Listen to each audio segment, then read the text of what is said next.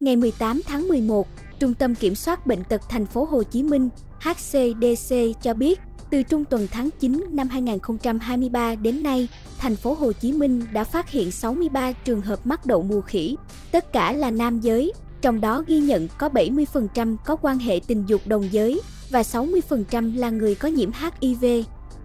Hiện đã có 35 bệnh nhân được điều trị khỏi bệnh và hết thời gian cách ly điều trị, hai trường hợp nặng tử vong trong bệnh cảnh suy giảm miễn dịch.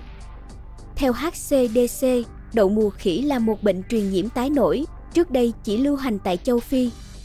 Khi phân tích đặc điểm dịch tễ của đợt dịch đậu mùa khỉ trên thế giới từ năm 2022 đến nay, WHO nhận định rằng virus đậu mùa khỉ phát tán hầu hết qua quan hệ tình dục. Việc sử dụng thuốc ARV trong điều trị nhiễm HIV hoặc điều trị dự phòng trước phơi nhiễm không thay thế được các biện pháp tình dục an toàn để dự phòng lây nhiễm đậu mùa khỉ.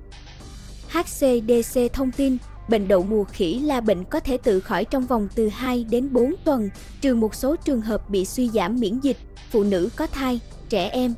thì bệnh có thể nặng hơn. Vì vậy, người bệnh đậu mùa khỉ hoặc nghi ngờ mắc đậu mùa khỉ cần được bác sĩ thăm khám, đánh giá tình trạng lâm sàng để có chỉ định điều trị phù hợp.